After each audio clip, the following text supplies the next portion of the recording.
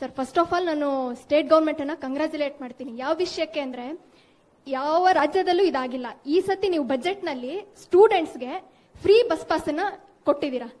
ಇದು actually Karnataka model ಆಗಿದೆ sir ವಿದ್ಯಾರ್ಥಿಗಳ ಪರವಾಗಿ ನನ್ನ ಪರವಾಗೇನೆ ನಾನು ಅಭಿನಂದನೆ ಹೇಳ್ತಾ ಇರೋದು. ಆಮೇಲೆ ಗರ್ಲ್ ಸ್ಟೂಡೆಂಟ್ಸ್ಗೆ ಎಕ್ಸಾಕ್ಟ್ಲಿ ಸರ್ ಫ್ರೀ ಎಜುಕೇಶನ್ ಹೌದು ಹೌದು. ಇನ್ಮೇಲೆ ಒಂದು ನಾಲ್ಕು ಎರಡ್ ಎರಡ್ ಸಾವಿರದ ಹದಿನೆಂಟರಿಂದ ಯಾರು ಒಂದು ರೂಪಾಯಿ fees ಕೊಡಬೇಕಾಗಿಲ್ಲ.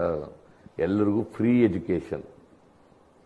From school to post graduation.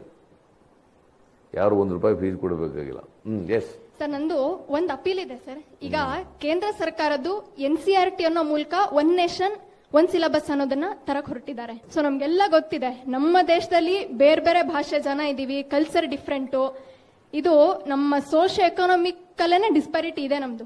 ತಾರತಮ್ಯ ಇದೆ ನಮ್ಮಲ್ಲಿ. ಈಗ ನಾನು ಕರ್ನಾಟಕದಲ್ಲಿ ಓದೋ ಹಾಗೆ ಬಿಹಾರದಲ್ಲಿರೋ ವಿದ್ಯಾರ್ಥಿ ಇರಲ್ಲ. ಅವನ ಗುಣಮಟ್ಟ ಬೇರೆ ಇರುತ್ತೆ. ಬಿಹಾರದಲ್ಲಿರೋ ಹಂಗೆ ಡೆಲ್ಲಿನಲ್ಲಿ ಇರಲ್ಲ ಇದು ನಮ್ಮ ಫೆಡರಲ್ ಸ್ಟ್ರಕ್ಚರ್, ಒಕ್ಕೂಟ ವ್ಯವಸ್ಥೆ ಏನಿದೆ, ಅದಕ್ಕೆ ಮಾರಕ್ಕಾಗತ್ತೆ. But and it is anti constitutional ಕಾನ್ಸ್ಟಿಟ್ಯೂಷನ್ಗೆ ವಿರುದ್ಧ ಹೋಗುತ್ತೆ. ನನಗಿರೋ ಅಪೀಲ್ ಅಂದ್ರೆ ಸರ್, ಈ ಒಕ್ಕೂಟ ವ್ಯವಸ್ಥೆ, ಕರ್ನಾಟಕ ಸ್ಟೇಟ್ ಸಿಲೆಬಸ್ ನಾವು ಮುಂದುವರಿಸಬೇಕು ಅಂತ ಹೇಳಿ. ನಮ್ಗೆ ಹೆಂಗೋ ನ್ಯಾಷನಲ್ ಕರಿಕ್ಯುಲಮ್ ಫ್ರೇಮ್ ವರ್ಕು ಇದೆ. ಅದು ನಮಗೆ ಮಾನದಂಡನ ಕೊಡುತ್ತೆ. ಆ ಮಾದರಿನ ಇಟ್ಕೊಂಡು ಕರ್ನಾಟಕ ಸ್ಟೇಟ್ ಸಿಲೆಬಸ್ ನಾವು ಗಟ್ಟಿಗೊಳಿಸಬೇಕು ಅಂತ ಹೇಳಿ ನಂದು ಇಲ್ಲ ಅದು.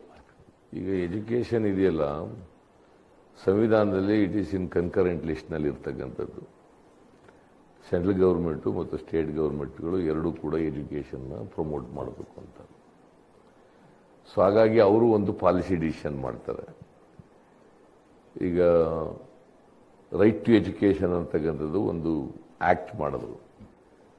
ಅದು it applicable to all states but as you said ನಮಗೆ ಒಂದು ಪಾಲಿಸಿ ನಮ್ಮ ರಾಜ್ಯಕ್ಕೆ ಬೇಕಾದಂಥದ್ದನ್ನು ನಾವು ಮಾಡ್ಕೊಳ್ಳಿಕ್ಕೆ ಏನು ತೊಂದರೆ ಇಲ್ಲ. ವಿ ಕ್ಯಾನ್ ಅದನ್ನು ಮಾಡ್ಕೊಂಡು we can bring it to the notice of the government of India ಅದನ್ನು ಮಾಡ್ಬೋದು. It is no problem no problem